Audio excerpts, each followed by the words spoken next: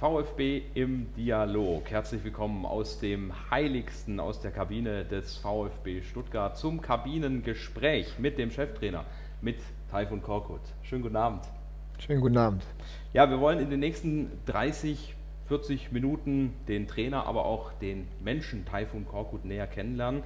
Und dazu haben wir viele Fragen gesammelt von euch, von Ihnen, von den Fans, äh, wobei tatsächlich die VfB-Mitglieder am wissbegierigsten sind. Also von den Mitgliedern kam tatsächlich der Großteil der Fragen. Äh, zum einen natürlich persönliche Dinge, die sie über Taifun Korkut wissen möchten. Zum anderen aber natürlich dreht sich vieles auch ums Sportliche. Herr Korkut, ähm, jetzt steht ja erstmal das Länderspielwochenende an. Wie geht ein Bundesliga-Trainer da rein? Ganz entspannt, weil man einfach mal an einem normalen Wochenende durchatmen kann? Ja, entspannt auch für die, für die Spieler vor allem, die, die hier sind. Die, die anderen, die unterwegs sind, natürlich mit ihren, mit ihren Ländern, dann haben natürlich nochmal einen anderen Druck. Aber wir hier versuchen die, die Zeit zu nutzen, um auch dann äh, einerseits die Spieler, die vielleicht das ein oder andere kleinere Problem haben, denen die Ruhe zu geben und äh, die anderen dann nochmal an den Sachen zu arbeiten, die wir noch, äh, ja, die wir noch weiterbringen wollen. Und äh, es ist etwas ruhiger, ja, aber trotzdem ist jetzt die letzten Tage sind sehr, sehr gut gelaufen bei uns. Äh, die Mannschaft war trotz dass wir kein Spiel am Wochenende haben, sehr, sehr fokussiert im Training und das zeigt auch, äh, dass wir da auf dem richtigen Weg sind. Ihre Bilanz beim VfB bisher äh, beinahe makellos und viele haben äh, an uns nicht mal direkt eine Frage gerichtet, sondern äh, einfach eine Bitte geschrieben, nämlich eine Bitte um Entschuldigung. Ähm, nehmen wir für ganz viele mal eine. Alexander Frick schreibt zum Beispiel, äh, freue mich sehr ähm, über Ihren und damit über unseren Erfolg. Nehmen Sie meine aufrichtige Entschuldigung an, nachdem ich bei Ihrer Verpflichtung mehr als skeptisch war? Grundsätzlich muss sich niemand bei mir entschuldigen. Meinungen äh, sind frei, jeder kann äh, seine Meinung auch äußern. Ähm, letztendlich ist es schön, dass man dann auch einige Sachen widerlegen äh, kann als, als äh, Mensch. Und von daher äh, freue ich mich jetzt einfach nur für den, für den Verein und für die Mannschaft, dass wir jetzt im Moment in so einer Situation sind. Aber der Druck, wenn man als Trainer äh, mitten in der Saison äh, eine Mannschaft übernimmt, den, den stelle ich mir eigentlich schon richtig heftig vor. Und wenn dann obendrauf noch viele kritische Kommentare von Fans kommen, wie, wie schafft man das? Wie steht man das durch? Ja, man, man muss wissen zunächst einmal, dass äh, der Druck eigentlich auch ein ständiger Begleiter in meinem ganzen Leben war. Schon als Spieler, ich habe ja einige Stationen hinter mir, auch bei sehr, sehr großen Vereinen Fußball gespielt und da war er eigentlich immer so an meiner Seite und ähm, hat mich ab und zu auch geärgert oder beziehungsweise äh, immer wieder an mir herumgemacht, musste ihn auch ab und zu mal ein bisschen wegschieben beziehungsweise unter Kontrolle halten. Von daher ist der Druck jetzt für mich nichts Neues. Wichtig war für mich einfach, dass ich äh, in der Phase mich auf das Wesentliche fokussiert habe und äh, das Einzige, was ich beeinflussen konnte, war die Mannschaft. Ähm, ich musste schnell die Mannschaft kennenlernen und dann da die richtigen Entscheidungen treffen. Und alles andere äh, kann und sollte man auch, äh, wenn man Bundesliga-Trainer sein will, ausblenden können. Und äh, das ist mir dann auch im Endeffekt gelungen. Rüdiger Konzelmann ähm, hat eine Frage eingeschickt. Nach 17 Punkten aus sieben Spielen steht der Verein gut da. Können Sie das an einem Punkt Ihrer Arbeit beim VfB festmachen, der quasi auch vom ersten Augenblick an gewirkt hat? Solidarität in allen Bereichen. Innerhalb äh, der Mannschaft, innerhalb des Vereins. Äh, da war vom ersten Tag an Ruhe, sehr viel Unterstützung, auch für uns Neue, heißt äh, für mich und äh, für die zwei Co-Trainer, die dann dazugekommen sind. Wir kannten natürlich auch viele von den Mitarbeitern, das ganze Team um, das, um, um die Mannschaft herum, äh, haben alle sehr, sehr unterstützend gewirkt. Von daher war das für uns einfach, der Einstieg war dann einfacher und ja, die Mannschaft hat dann relativ schnell auch verstanden, auf was es ankommt äh, und hat es dann sehr, sehr gut umgesetzt und äh, ich glaube, das große Wort ist, ist Solidarität.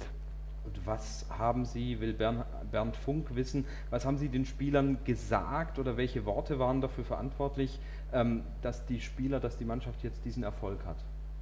Kann man das an Worten festmachen? Ja, zunächst einmal all das, was in der Kabine besprochen wird, bleibt auch in der Kabine. Ist ja unser Wohnzimmer. Mhm. Und im Wohnzimmer sollte man auch äh, ein paar, ein paar Ge ja. Geheimnisse haben.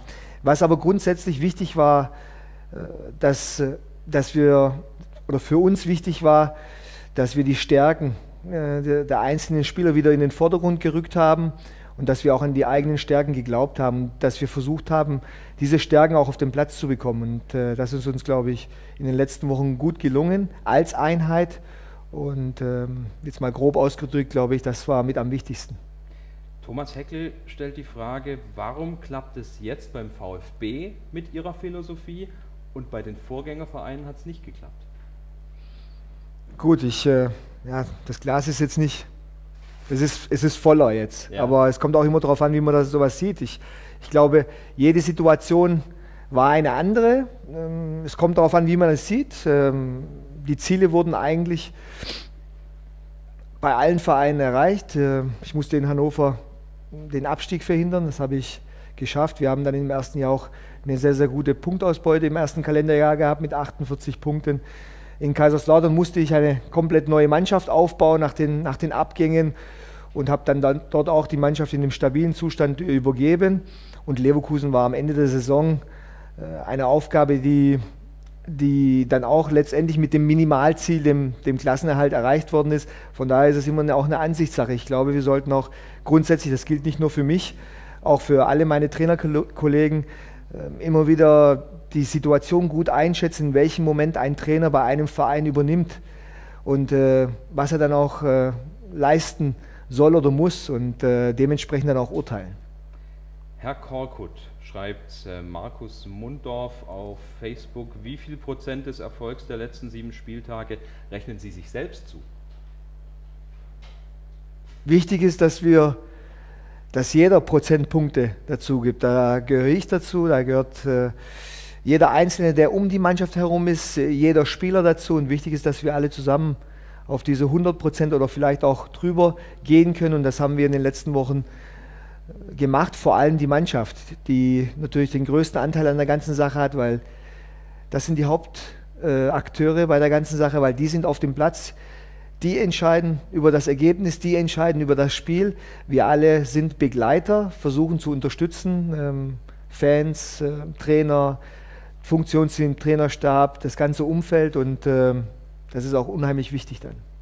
Sie haben bestimmt noch nie ein Wortspiel mit Ihrem Vornamen gehört, aber spätestens jetzt kommt Timo Vogel um die Ecke und will wissen, wie fühlt es sich an, wenn man als Taifun über alle Gegner hinwegfegt? Ja, habe ich ein paar Mal schon gehört, ja. Besser, wie man, wenn man sagt, das ist ein laues Lüftchen. Ja. von daher, also ich kann damit leben, wenn's, wenn der Wind stärker ist, äh, wenn der Wind aber auch mir ins Gesicht äh, bläst, damit kann ich auch leben, weil das gehört einfach zu unserem Job dazu. Aber ich habe auch nichts dagegen, wenn wir mit, mit starkem Wind auf dem Platz sind und äh, wir dann die, die Ergebnisse erzielen. Wir wollen auch ähm, über die Person Taifun Korkut mehr erfahren in diesem VfB im Dialog und deshalb ähm, möchte ich jetzt mit Ihnen eine kleine Speed-Dating, eine Kennenlernrunde machen, also kurze, schnelle Fragen mit der Bitte auch um kurze Antworten. Los geht's mit der Frage Spätzler oder Maultasche? Maultasche. Maultasche. Anzug oder Trainingskleidung? Anzug. Offensiv oder defensiv? Beides. Schlossplatz oder Bärensee? Auch beides. Okay. Fernsehturm oder Wilhelma? Wilhelma. Crow oder die Fantas oder Oh, da muss ich aufpassen. Alle zusammen. Alle zusammen. Ja. Couch oder Spaziergang? Couch. Echt? Ja. Ich relax sehr, sehr gerne. Wenn ich dann noch meine drei Kinder im Arm habe oder um mich herum habe, ist das auch für mich Entspannung. Ich muss nicht unbedingt immer einen Spaziergang machen. Viertele oder Radler? Ja, Rotwein eigentlich. Durch meine Zeit auch in, in Spanien, das hat mich einfach geprägt dort, ein guter Rotwein. Aber das gibt es ja hier auch. Gibt es auch. Hm. Also spanisches Viertele ja. können wir auch gelten lassen. Kochen oder essen gehen? Essen gehen, mit guter Gesellschaft aber. Ansonsten lieber zu Hause dann. Mhm. Sitz oder Stehplatz? Ich bin als, als ja, Jugendlicher bin ich sehr viel gestanden. Das Geld hat nicht gereicht für, für mehr. Von daher, ich stehe auch sehr, sehr gerne. Zu Hause oder auswärts? Im Moment, äh, wenn man es auf unsere Mannschaft bezieht, beides. Wichtig dabei ist, dass wir die Unterstützung haben und da habe ich eigentlich immer das Gefühl gehabt, dass wir zu Hause und auch auswärts von unseren Fans super unterstützt worden sind. Von daher äh, beides. Und zum Schluss Stuttgart oder Istanbul? Gute Frage. Äh, kommt drauf an, wann. Okay. Dann. Äh, nehmen, wir, nehmen, wir, nehmen wir jetzt. Jetzt würde ich langsam in Richtung Istanbul tendieren, weil das Wetter wird wieder besser ah, okay. dort und äh, wir sind direkt am, ja. am Meer einfach. Aber ich fühle mich auch äh, sehr, sehr wohl. Ich bin ja hier aufgewachsen. Von daher ist Stuttgart äh, auch eine Art Heimat für mich. Und bei uns wird es jetzt auch bald wieder wärmer. Ja. Ähm, für die, die ihren Hintergrund nicht kennen, türkische Eltern in Deutschland aufgewachsen, haben dann in der Türkei und in Spanien als Spieler gespielt, sind auch mit einer Spanierin verheiratet. Ähm, welche Sprache wird eigentlich im Hause Korkut gesprochen, auch gerade mit den Kindern? Also Schwäbisch noch nicht. Die Kinder sind noch am sich daran gewöhnen, weil die letztendlich im Norden ja aufgewachsen sind, eher, da wir uns lange in, in Hannover auch äh, gelebt haben. Aber die sind dann schon am, nach ein paar Tagen gekommen, haben gesagt, bissle, bissle. Das war so das erste Wort, was sie dann in der Schule mitbekommen haben. Aber ansonsten ist es, ähm, ja, ich mit den Kindern nur Deutsch, meine Frau nur Spanisch mhm. und die Kinder mittlerweile mischen die, die Sprachen. Ah, ja. mhm. Aber es geht einfach darum, dass wir, dass wir dann auch dadurch eine klare Trennung haben und die Kinder die Sprachen dann auch äh, besser lernen. Und die sprechen im Moment ja vier. Mein Sohn jetzt sogar ist bei der fünften Sprache, von daher ist es natürlich für, für die Kinder super. Und können Sie besser Spanisch oder Ihre Frau besser Deutsch? Meine Frau spricht Deutsch, spricht aber auch äh, sehr, sehr passables äh, Türkisch. Oh. Ja, ja. Ähm, ich denke, ich spreche besser Spanisch wie Sie okay. Deutsch. Weil Deutsch ist nicht so einfach, ja, um es perfekt zu sprechen. Ja. Mhm. Worte wie äh, Fleiß, harte Arbeit, Disziplin, ja. das scheint für Sie, was man bisher so mitbekommen hat, auch eine große Bedeutung zu haben. Ähm, womit wir wieder beim Schwäbischen sind, sind Sie ein Schaffer? Ja, man bekommt ja Werte einerseits ähm, mit in, in, in, der Stadt oder in der, in, in der Kultur, in der man aufwächst und andererseits natürlich von der Familie. Und meine Eltern sind ja hierher gekommen, nicht äh, um Urlaub zu machen, sondern um zu arbeiten, um, um ja, sich etwas aufzubauen. Dann noch die Kombination, dass, man, dass sie im Schwabenland gelandet sind damals, ist natürlich, äh, erhöht natürlich das Ganze und äh, ja, wir sind, wir sind mit diesen Werten aufgewachsen und äh, die sind mit Sicherheit, die stecken in mir drin. Sie haben auch äh, kürzlich das Bruddeln als Erfolgsrezept, ja. eines der Erfolgsrezepte der Schwaben bezeichnet. Können Sie auch ein Bruddler sein? Ja, mit mir selber auf jeden Fall. Wobei ich sagen muss, in den letzten Jahren gegenüber anderen ich etwas entspannter geworden bin. Aber für mich selber ja, weil es einfach auch eine gewisse Selbstmotivation ist für mich, um einfach noch besser zu werden und äh, das Beste rauszuholen. Aber ich glaube auch, dass Bruddeln kann pushen. Und ähm, man muss einfach damit zurechtkommen. Aber ich glaube, wenn man, es gehört hier dazu und äh, deswegen gibt es auch so viele erfolgreiche Unternehmen in der Stadt. Sie haben über Mario Gomez gesagt, dass er in sich selbst ruhe. Mario Gomez hat dann über Sie gesagt, dass er Ihre klare, ruhige, selbstsichere Mannschaftsführung äh, sehr schätzt. Wie würden Sie selber Ihre Führung der Mannschaft beschreiben? Am besten können es äh, ja, die Spieler bzw. die Menschen, die um mich herum oder mit mir zusammenarbeiten, beurteilen. Das ist schon mal klar. Aber ich habe natürlich auch schon gewisse Ansätze. Ich habe für mich selber ist klar, dass äh, auf, auf Worte Taten folgen müssen, dass ich Regeln muss man haben in, in einer Mannschaft, im Leben sowieso und äh, trotzdem aber einen individuellen Umgang mit den, mit den Personen. Ja, kommunikativ muss man sein, trotzdem muss man da auch aufpassen, inwieweit man zu nah an die Menschen herantritt, welche Distanz man aufbaut. Da gibt es viele Sachen, an die ich mich halte und äh, die helfen mir auch dann in der täglichen Arbeit. Ähm, wir haben ja vorher in diesem Speeddating schon mal äh, diese Frage gehabt, ne? Anzug oder Trainingskleidung. Dazu fragt Christoph Rinker, was muss passieren, dass Taifun Korkut nicht mit dem Anzug an der Seitenlinie steht, sondern mit einem VfB-Trainingsanzug? Da muss ein Taifun wehen. Also da muss ein starker Wind da sein, dass mich, dass mich jemand vom Anzug trennt. Ist das einfach Ihr Stil? Das gehört zu mir. Mhm. So wie vielleicht ein Trainingsanzug zu einem anderen Trainer gehört bzw. zu ihm passt. Ähm, ich für mich äh, glaube, repräsentiere auch hier einen großen Verein und ähm, glaube, dass das einfach für mich das Beste ist. Aber wie gesagt, ich möchte es nicht äh, bewerten, was oder wie es andere Kollegen machen. Da muss sich jeder selber wohlfühlen. Ich fühle mich wohl in dem Anzug und äh, äh das ist das Allerwichtigste. Gibt es bei Ihnen ein Ritual vor jedem Spiel? Möchte Patrick Splittgerber und Patrick Füll wissen? Ja, ein Ritual eigentlich nicht. Habe ich aber auch als Spieler nicht gehabt, sodass ich vielleicht mit dem linken Fuß oder mit dem rechten Fuß oder solche Sachen eigentlich nicht. Da bin ich sehr, sehr ja, langweilig, wenn man es so bezeichnen kann. Ähm, Ihre Entscheidung für den VfB, wie kam die zustande? Also was hat eine Rolle gespielt? Gab es einen entscheidenden Grund, warum Sie dann, warum nicht nur der VfB gesagt hat, wir wollen Sie, sondern dass Sie dann auch zugesagt haben?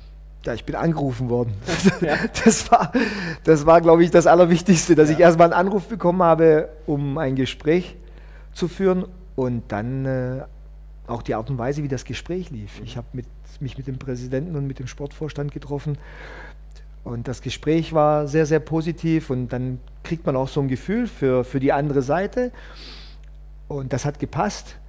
Äh, natürlich äh, auch der Hintergrund, dass ich hier aufgewachsen bin, äh, letztendlich in Anführungszweisen meine Stadt das ist, ich hier lebe und das alles zusammen hat dann, war dann auch ausschlaggebend, dass ich nicht lange überlegen musste.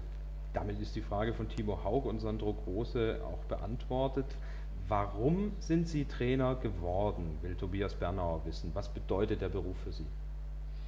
Aus Leidenschaft, und äh, weil ich das am besten kann, in Anführungszeichen alles, was mit Fußball zu tun hat. Es hat einfach mein, mein ganzes Leben geprägt und ähm, warum, soll ich, warum soll ich mich dann verändern und auch irgendetwas machen, äh, wo ich nicht die Erfahrung habe oder wo, wo ich nicht ähm, ja, die Sicherheit habe. Und äh, im Fußball, wenn man Ex-Profi war, bringt man, glaube ich, auch äh, sehr, sehr viel mit, einfach die Erfahrung, so eine Kabine zu kennen, wie funktioniert äh, so, ein, so ein Verein oder wie fu funktionieren Vereine, wie sind die Menschen im Fußballverein. Trotz alledem muss man natürlich auch den Beruf lernen. Es war ja nicht so, dass man, dass man direkt ans Profitrainer wird, sondern da war ja auch ein langer Weg davor mit, mit Jugend und dann Co-Trainer noch. Von daher ist es wichtig, dass man, dass man beides kombiniert. Welcher Trainer, fragt Simone Tobias, hat sie in ihrer Laufbahn besonders geprägt bzw. beeindruckt? Mein, mein erster Trainer bei, bei Fenerbahce Istanbul, Carlos Alberto Pereira, ein Brasilianer, Weltmeistertrainer gewesen. Danach Jogi Löw, auch im jungen Alter, schon äh, welche Souveränität er in dem Alter hatte schon. Und dann natürlich auch Vicente del Bosque. Aber ich hatte noch sehr, sehr viele andere große Namen mit Javier Clemente, spanischer Nationaltrainer gewesen, John Benjamin Toschak. Man nimmt überall was mit, aber diese drei waren vor allem in der Mannschaftsführung für mich sehr, sehr wichtig.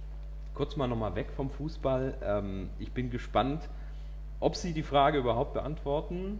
Welches ist Ihr Lieblingsrestaurant? Wenn Sie das jetzt verraten, dann ist die Hütte voll die nächsten Wochen.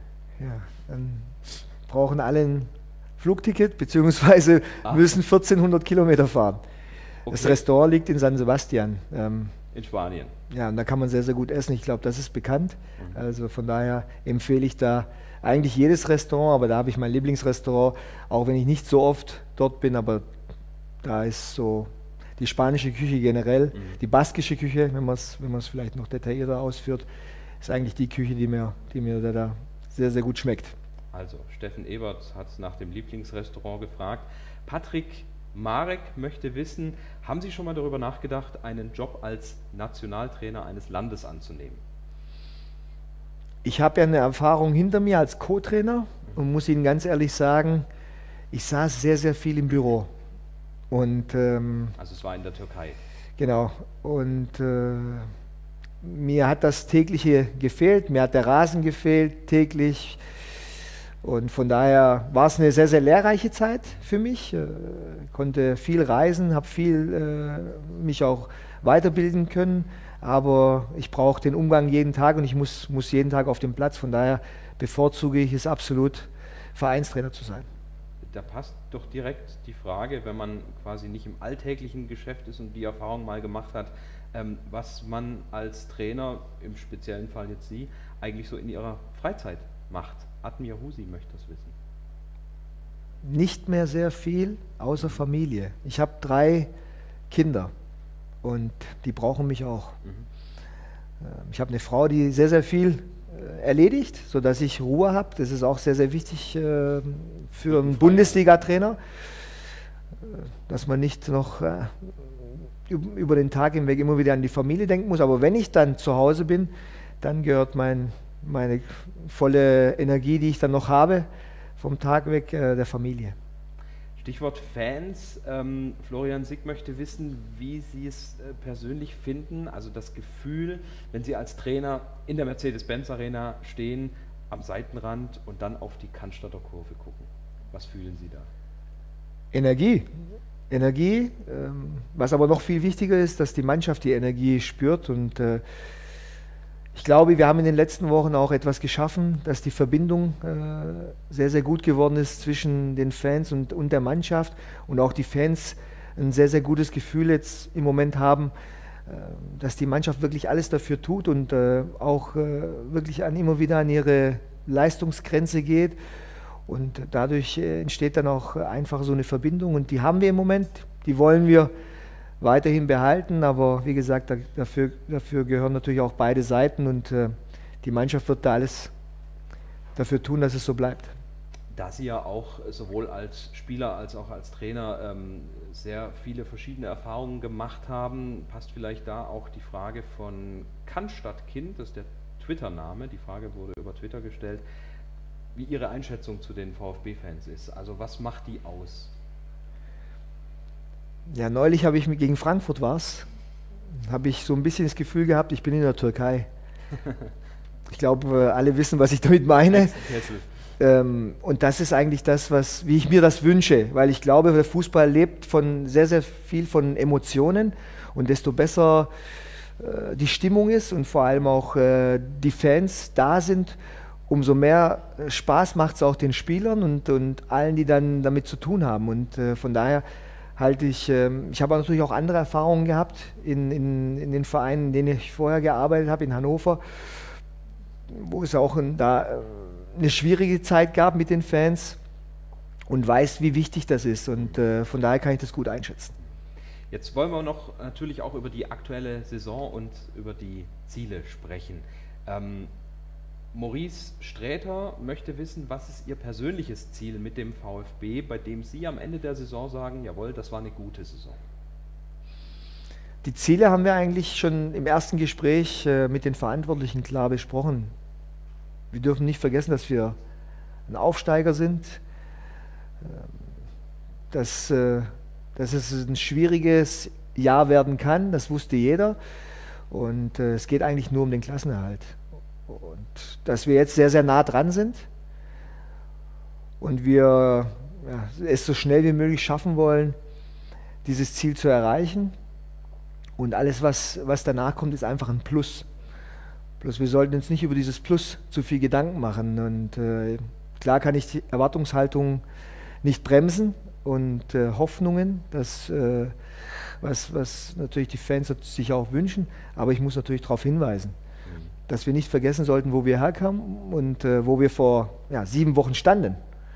Das ist jetzt im Moment eine schöne Momentaufnahme, auch für uns alle. Es freut mich auch für alle, aber wir sind noch nicht durch und wir wollen jetzt schleunigst diese Punkte holen, damit wir auch dann Planungssicherheit haben für die Zukunft. Trotzdem denken natürlich einige Fans auch schon ein bisschen weiter. Ähm, ich lese mal die Frage von Markus Schwenk, Christian Kubelka und Andi Uhl vor. Die haben alle drei mehr oder weniger die gleiche Frage. Denn wenn es so weitergehen würde mit den Punkten und der VfB käme ins internationale Geschäft, wären Sie dann froh drüber oder hätten Sie gesagt, eigentlich ist mir gesichertes Mittelfeld lieber? Wenn und käme. Das ist ein, schön, das ist ein schöner Beginn von den Sätzen. Alles hypothetisch. Ja, absolut. Von daher, ich glaube, wir sind gut gefahren damit wie wir die letzten Wochen angegangen sind. Und ähm, wir sollten uns wirklich darauf fokussieren, dass wir da dranbleiben, dass wir wirklich äh, jede, jede Sekunde im Spiel, jede Minute im Spiel spüren. Und äh, egal wie schwierig es ist, und für mich ist einfach nur wichtig, dass ich jetzt das Gefühl habe, dass die Mannschaft unheimlich konsequent an dem oder auf diesem Weg im Moment ist. Und wir konzentrieren uns darauf, dass diese Konsequenz weiterhin zu sehen ist in jedem Spiel und alles andere, muss ich Ihnen ganz ehrlich sagen, darüber mache ich, das ist mir zu weit weg. Darüber mache ich mir im Moment überhaupt gar keine Gedanken. Dann bin ich gespannt auf die nächste Frage, denn die hat auch eigentlich mit einem Zeitpunkt zu tun, der eher so Richtung Ende der Saison abzielt. Welches Mitspracherecht haben Sie bei der Kaderplanung? Da, da geht es gar nicht um Mitspracherecht. Ich glaube, hier sind äh, wichtig ist, dass wir erstmal unser Ziel erreichen und dann, äh, umso schneller man Planungssicherheit hat, äh, umso, umso ja, frühzeitiger kann man viele Sachen auch angehen. Und äh, ich habe einen sehr, sehr regen und sehr, sehr guten Austausch mit Michael Reschke. Ähm, ich bin in alle Gespräche eingeweiht. Ähm, wir kommunizieren sehr, sehr oft und sehr, sehr viel. Aber wir haben uns äh, ganz klar auch das Ziel gesetzt, dass wir erstmal die Punkte erreichen sollten, um dann äh, an die nächsten Schritte zu denken. Wobei natürlich Michael da Profi genug ist und äh, parallel schon an, an einigen Sachen arbeitet. Aber es ist, wie es ist. Auch bei solchen Sachen, wenn man über, über ja, Verpflichtungen oder über Veränderungen redet, ist es erstmal wichtig, dass, dass auch die Spieler, die dann in Frage kommen sollten, äh, wissen, wo der VfB nächstes Jahr ist. Mhm. Trotzdem wollen natürlich einige Fans ähm, Ihnen da auch ihre persönliche Meinung entlocken. Ich kann sie gar nicht alle vorstellen. Also diese Frage haben wirklich sehr, sehr viele gestellt ähm, im Hinblick auf die kommende Saison ähm, ähm und mögliche Abgänge. Wie sollte der Kader aus Ihrer Sicht verstärkt werden und auf welchen Positionen sehen Sie Handlungsbedarf? Also zunächst einmal, wenn man, wenn man, äh, man will immer eine Mannschaft verbessern, das ist ja klar. Und wichtig wird sein, dass wenn jemand zum VfB kommt, dann muss er uns ein Extra geben zu dem, was wir jetzt im Moment äh, in unserem Kader haben. Und von daher ist das unser, unser wichtigster Punkt, den wir beachten werden. Aber letztendlich über, über Positionen jetzt zu reden oder über, über Zu- und Abgänge halte ich nicht nur zu, für zu früh, sondern da werden wir uns auch noch bedeckt halten müssen, leider. Mhm. Ähm, Thomas Ecke schließt daran an und sagt, ähm, muss man Abgänge eigentlich einplanen? Also glauben Sie, dass sich die Mannschaft stark verändern wird? Ich hoffe nicht, aber klar muss man mit allem, man muss vorbereitet darauf mhm. sein. Einplanen nicht, aber man muss vorbereitet sein, dass äh, dann jemand um die Ecke kommt und plötzlich ja, sehr, sehr viel Geld für, für einen Spieler bietet. Und wir haben äh, ein paar Spieler, die mit Sicherheit auf dem Markt interessant werden können, einfach äh, vom Alter und von der Leistung her im Moment. Aber das spricht ja dann auch wieder für den Verein, dass äh, einiges richtig gemacht worden ist und einiges richtig gemacht wird. Äh, aber ich bin mir da sicher, dass, dass sich die Spieler jetzt hier auch sehr, sehr wohl fühlen und wir alles dafür tun werden, dass wir die Spieler dann behalten können. Gleich mehrere Fans bzw. Mitglieder haben auch ähm, einen, ich nenne es jetzt mal Wunsch geäußert, natürlich als Frage verpackt. Äh, wie soll der aktuelle Trend, also ich nehme an, natürlich das erfolgreiche Spiel, wie soll dieser Trend saisonübergreifend konserviert werden? Kann man das überhaupt? Na, Garantien hat man für nichts. Mhm. Aber man muss schauen, dass man nicht zufrieden äh, wird. Zufriedenheit ist immer Gift, vor allem im Leistungssport. Ähm, und wir Menschen neigen dazu, generell, nicht nur im Fußball, in allen Bereichen relativ schnell bequem zu werden, wenn etwas funktioniert. Und da geht es darum, dass wir da gegensteuern. Aber ich muss Ihnen ganz ehrlich sagen, das zeigt mir auch jetzt gerade diese Woche, diese Länderspielwoche ist immer so ein Indiz dafür, inwieweit die, die Mannschaft vielleicht mal einen Gang runterschaltet äh, in den Trainingseinheiten. Wir haben absolut nicht das Gefühl, wir haben ganz im Gegenteil das Gefühl, dass dass äh, trotz allem die Mannschaft voll fokussiert ist und auch äh, jeden Tag ihr Training voll durchzieht, also sich auch nicht irgendwie zurücklehnt. Und das sind gute Zeichen. Das zeigt eigentlich, dass, es, dass die Spannung noch da ist und die wollen wir natürlich jetzt erhalten und hoffen, dass wir jetzt bis nächste Woche dann auch keine Verletzten haben und die Jungs, die dann zurückkommen, auch nicht verletzt zurückkommen, sodass wir mit null Zufriedenheit in dieses Spiel gehen können. Ähm, ein Namen, den ich leider nicht äh, richtig aussprechen kann wahrscheinlich, aber er klingt thailändisch. Tan Bin Tran möchte über Facebook wissen, Herr Korkut, ist ein Transfer von Sami Kedira oder Leroy Sané für den VfB vorstellbar? Das sind Topspieler. Klar. So, wenn man Topspieler bekommen muss, da geht es dann auch nicht nur um Geld, weil ähm, ich bin überzeugt davon, dass, dass wenn man in dieser Kategorie an Spieler rangeht, dass es da viel, viel wichtiger ist, auch für die Spieler, was ist sportlich geboten. Und äh, diese Kategorie von Spieler schaut natürlich auch darauf, ist der Verein international vertreten. Also wenn man in diese Kategorie denkt, müsste man sich international qualifizieren, am besten sogar die Champions League oder in der Champions League spielen. Von daher, so weit sind wir noch nicht als Verein nicht und auch jetzt in unserer momentanen Situation nicht. Äh, das ist alles Zukunftsmusik und da muss man hart auch dafür arbeiten, um da hinzukommen. Und wir sind nicht die Einzigen in der Bundesliga, die Schritte nach vorne machen wollen. Von daher müssen wir auch genau wissen, wo wir im Moment stehen.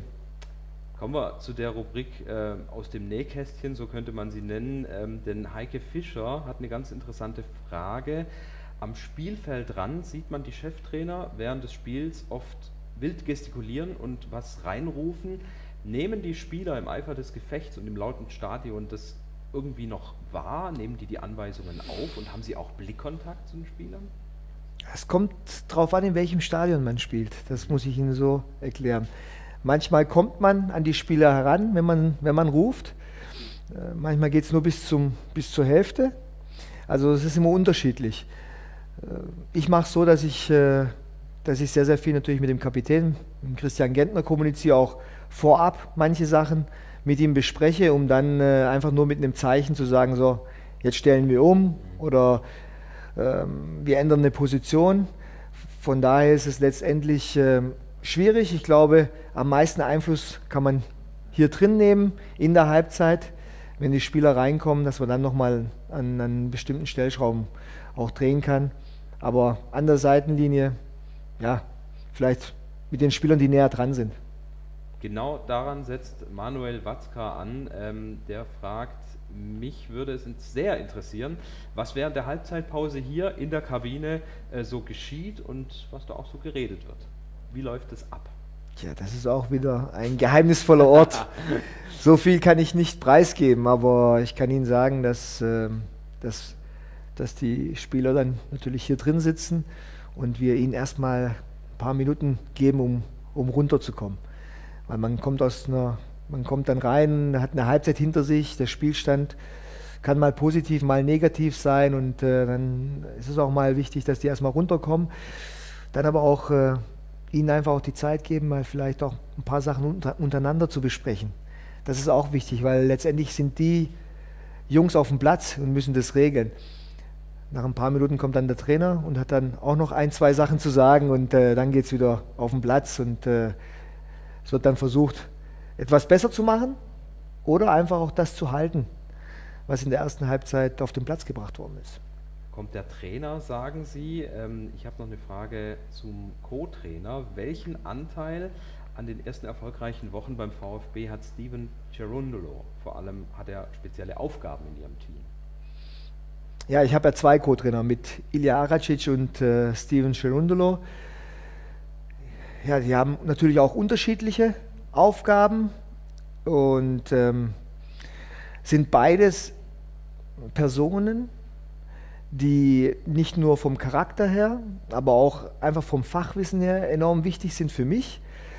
Und ähm, sind beide Ex-Fußballer, haben beide natürlich auch äh, die Erfahrung, wie es und was in so einer Kabine abläuft, haben beide in der Bundesliga gespielt. Ähm, um auf äh, Steven zu kommen, natürlich auch sehr, sehr lange Kapitän in, in Hannover gewesen, bei 96 auch Kapitän der, der amerikanischen Nationalmannschaft gewesen, viele große Turniere gespielt.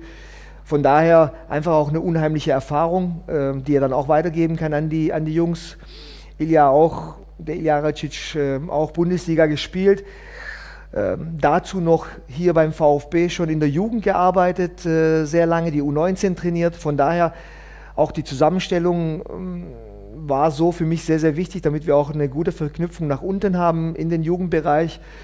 Und äh, da haben wir auch mit, mit Ilja jemanden, der den ganz, die, die, ganzen Personen auch schon kennt und von daher wir dann kurze Wege haben und einfach die Personen sich untereinander schätzen.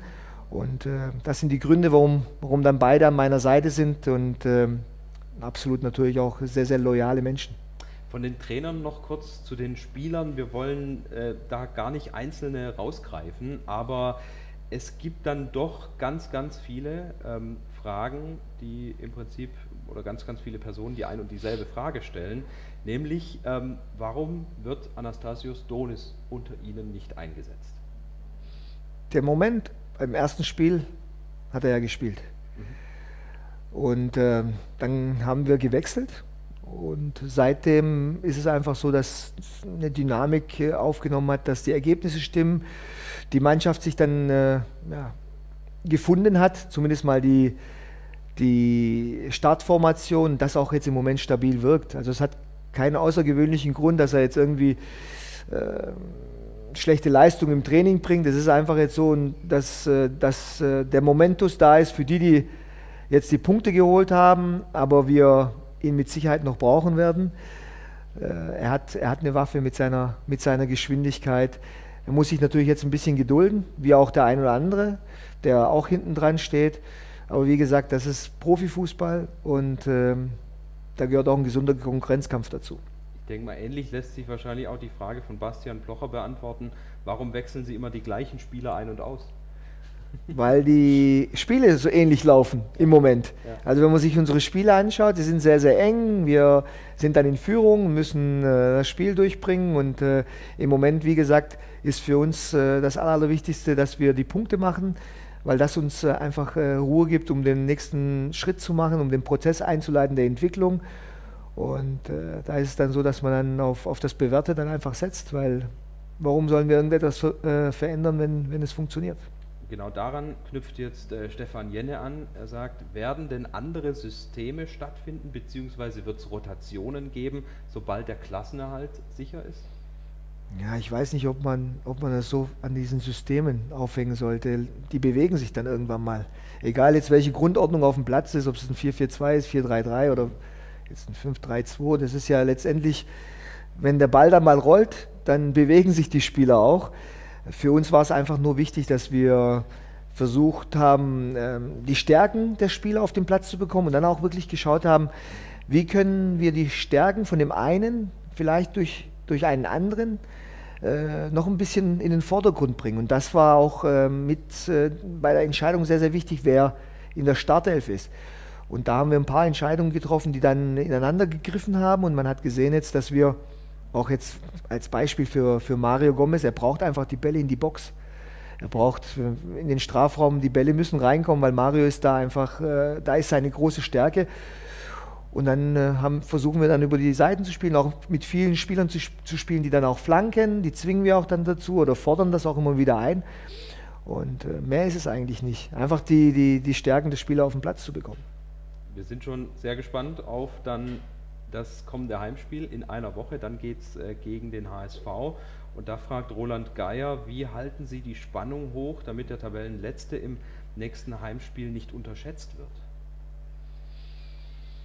Wir sind mittlerweile, ich bin mir sicher, dass die Mannschaft auch demütig ist. Sie weiß schon auch, von wo sie kommt und was sie auch in den letzten Wochen geleistet hat. Das dürfen wir nicht unterschätzen. Da waren sehr, sehr viele schwierige Spiele nicht nur körperlich, auch mental dabei und gegen sehr, sehr gute Gegner.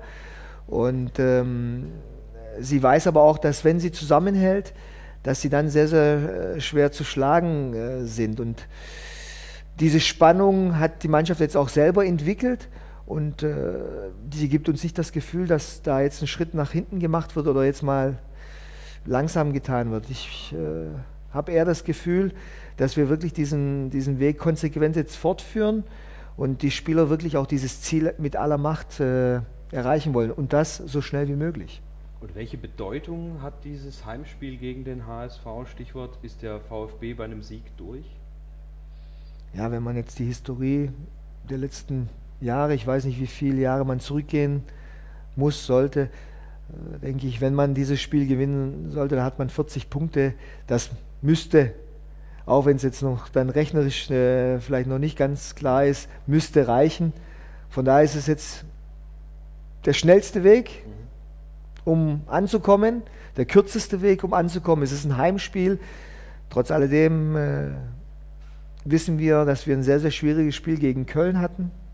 Also Erwart die Erwartungshaltung hat sich natürlich jetzt äh, gedreht und äh, man denkt dann so, ja, die schlägt man so beim, beim, Vorbeigehen. Aber es gibt in der Bundesliga gibt es keine einfachen Spiele. Das sollten wir nicht vergessen und das, wird, das weiß die Mannschaft auch. Von daher müssen wir eine Topleistung bringen, genauso konzentriert sein wie zu Hause gegen Leipzig, um wenig zuzulassen und ähm, genügend Chancen zu, zu kreieren, um das Spiel zu gewinnen. Wir werden das verfolgen nächste Woche in der Mercedes-Benz Arena, dann Heimspiel des VfB gegen den Hamburger SV. Wir wünschen Ihnen und der Mannschaft alles Gute und bedanken uns für das heutige Gespräch. Vielen Dank. Dankeschön. Das war VfB im Dialog, im Kabinengespräch mit Taifun Korkut.